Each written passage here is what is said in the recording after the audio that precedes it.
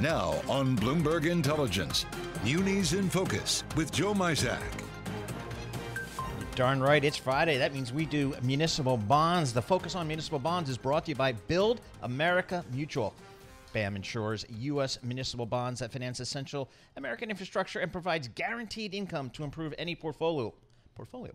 Be part of building America. Invest in BAM. Bam. Insured bonds. There you go.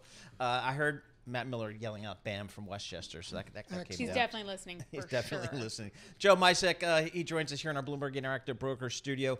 Joe, you probably saw the news that the 2026 World Cup final has been awarded to MetLife Stadium over there in the swamps of Jersey in East Rutherford. Hey, you know what's right next door to that thing?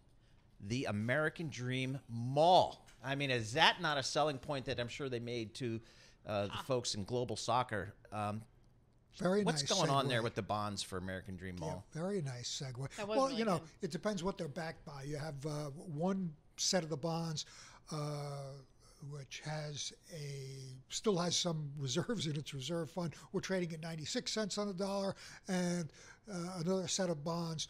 Uh, where the reserve fund has been exhausted, they're trading about 75 cents on the dollar. So uh, you can pick those up for a little bit of a discount. I mean, do are we happy that, the, that this is happening? Sure. The World Cup? Okay. Oh, yeah. We're not worried about traffic and No, we're always. Eh, it's And a crowd of figure it people No, the way you're going to get there, I'm telling everybody. Uh. New Jersey Transit. Trust me on this one. Yeah, but New Jersey Transit to Secaucus. Secaucus. And, then you switch to take the five minute train from Secaucus Bus to. train. no, they do it for Giants and Jet games, for concerts. where does the train stop at the stadium? They have a little station built right there. oh. can't, can't you just like stay at a hotel nearby? no. Yeah, you no, don't dude. do that. This is East Rutherford, New Jersey. We don't like this. No. you- And I am renting you would out swim uh, my kids' River. rooms for this. Ah, okay. So Is it? Yeah. Is this the? Is this the American Dream Mall that has like a ride? Yeah, has the ski slope. Ski slope, Oh, Yeah. interesting. Okay. pools. Yeah. And if they're listening, they need to clean up the graffiti that's on the New Jersey Turnpike No, that gives it the charm, John. That's that says no, no, no, Jersey. no, I'm- Uh, So, let let's go to the the one that these guys love. This is the fun one, Yes. and it's the Yes. congestion tolling. Fifteen dollars. Uh, it's supposed to start what mid June is where we're going to be looking at. There's a there's a lot of of, uh, of uh, Complaints? moving parts Yeah. until we get there. So the MTA says, "Oh yeah, we could start up June, start levying that fifteen dollar uh, toll," and the MTA says it'll bring in a billion dollars a year, and that in turn can be bonded out to, to create fifteen billion dollars. But right now, when you say bonded out, what does that mean? well, you got the you have a billion dollars in revenue. Show Okay. me a revenue stream. I'll show you a bond issue. Is the, These are like is the old tobacco bond man, bonds, uh, right? You know, toba- sell it before you get the money? well, yeah, no, you get a revenue stream and bond off it. You could borrow that and, You, and you borrow there and you go. say that that billion dollars of revenues is the collateral for what I'm. yeah. Okay, I now I get you. See, that's Yep, bond talk. yep, All yep. right, I'm with you. All right, so these are we going to? I mean, I guess there's the, the, New Jersey is suing Right. New York, right, and saying, Yes. whoa, whoa, whoa, this isn't good for New Jersey. Right, and everything is, is kind of in flux, and you still have to get various approvals for it. So I think June is probably Wait, hang on optimistic. But but wouldn't MTA give a credit to you guys if you're driving Lincoln Tunnel Tunnel Queens Yeah, Midtown if you have to pay a toll to the Port Authority to get into Manhattan to pay the congestion pricing, there's a bit of a discount. I don't know. Uh, I- If it's- you know, if- and they're if- still if settling it's a full that, too. refund or something along those lines. Nobody's giving refunds for That's anything. enough. It's just they're going to charge you a little less. And then you also have to take into consideration, as they do with the tolls, every year the toll prices go up. The congestion pricing toll, which is now $15, every year that too will go up. That's true. The tolls are really crazy. And also, but this is in theory not supposed to. It's not about raising money. It's about lessening congestion. Oh, it's about raising Oh money. no! Don't get Oh, me started. Oh, you are so, so naive. I said theory. in theory, In- well, here we go. New Jersey sued the Highway Agency and U.S. Department of Transportation in July over the f- plan's final approval, calling the project a quote brazen money grab that ignored numerous complaints from the state's residents over the potential for increased traffic and pollution. Why I said theory, by the Yes, way. exactly. All right, so there is a municipal bond component to that because once that revenue comes in, or once you can char- quantify that revenue, then you can bond it and they'll hit the market. Oh yeah, and, Okay. and you know right, right, that's the now there are projects that they want to uh, pursue, including a, uh, a switch um, and signal uh, upgrade in Brooklyn, not far from my stop, and uh, that's been put on hold until they get the congestion pricing money in. Also, the Second Avenue subway expansion into Harlem. Uh, that's all you know, kind of on the back burner right now. Okay. All right, got another one here. Texas passed two laws in 2021 that restrict government contracts with companies that take what state officials regard as punitive stances toward the fossil fuels and firearms industry. And that impacted the municipal bond market, didn't it? You know, this has been playing out over the last couple of years, as you say. And uh, Danielle Moran had a very nice quick take on this uh, on this subject, explaining, you know, exactly what's happening there and the you know the impact on the municipal bond market. Well, Citigroup exited entirely. Barclays threw in the towel. Uh, and you know th- these are big players in the market. And UBS, you know, penalized and you know they're no longer in munis. Uh, so you know what happens when you take away some of the participants?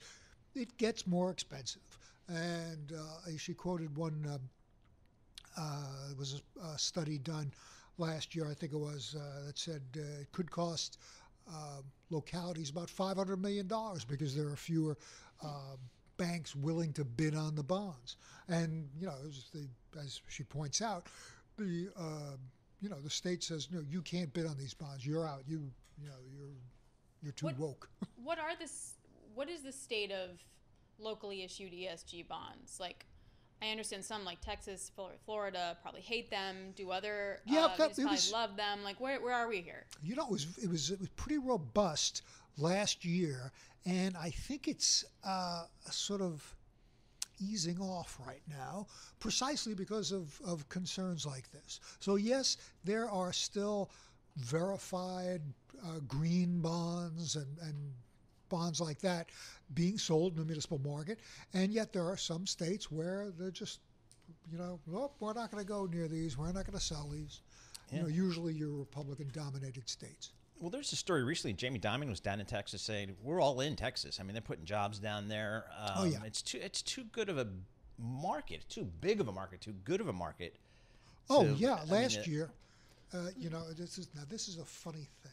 Last year, the state of Texas was the leading state for municipal borrowing. Topped, you know, California, and New really? York, okay. which are always in there, I Illinois. believe this. Yeah, it's it? biggest borrower. And a lot of that is for schools.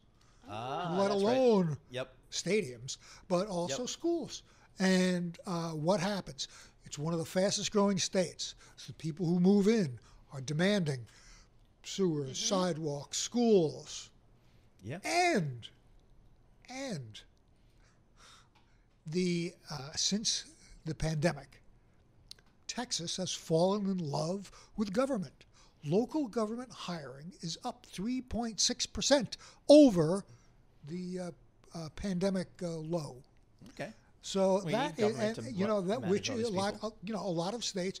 I know we've reported that overall um, state and local government hiring is, is back to where it was, but it, it depends on states. In Texas, it's above that. It's a, it's a phenomenal growth story down there, and they're, they're selling the, the low tax, low yep. regulation um, thing, and it, you know that that's working. And, and, it's not just I was going to say energy, but it's not just that. It's not just energy. They have a huge like medical and hospital area yep. uh, down in Houston also. MD Anderson, right? Uh, so it, your big question here, I think, is Texas going to go blue? Ah. I think that's a misnomer. I can't. I well, feel I don't know. like don't know. that I'll was a the... moment of maybe they go purple for a little bit, but yeah, I don't know. Yeah, they'll they'll figure out a way. They're embracing they local government, embracing borrowing. I like I love talking to native Texans and they talk about uh, seceding from the union. They're not kidding. They like they they kind of feel like you know, we have a lot of a lot of them on on the show. They kind of feel like, ah, we're separate anyway. But we're they Texas. did that. But they did that with their power grid. Hello, yes, Six Flags. Yeah. They've yeah. had Six Flags, right? Exactly. It's the Republic of Texas. Yes, the Republic of Texas. It's good stuff. Um, but yeah, so we'll see. But uh, anything on the calendar that we should be looking out for in terms of new issue? Well, you know what? Next week we see the Commonwealth of Virginia. Oh, nice. Which is a triple A, a triple triple state they're selling a little over 100 million dollars in bonds. Oh, all right. That's good. Hardly a challenge No. in this market. Right now, we have the. Uh, uh, do people still use the, the expression Goldilocks market? You Yep, we still use it's it. It's not too hot, not too, too cold. cold, okay. It's just right. I looked at the calendar this week, and uh, you know, very few day-to-day deals. Uh, you know, you see, it's all final pricing for negotiated deals and awarded on the auction side. So you look at that and say, you know, there's- there's not a lot of day-to-day deals, and when you do look at the pricings, they're priced very close to AAA. All right, you know, good stuff. right on top of it. So no, wait a minute. No, that's take it. us through the break, man. That's we, it, we, we have a Joe. break That's coming it. up. Good That's stuff. Joe it? Mysak covering Oh. municipal bonds.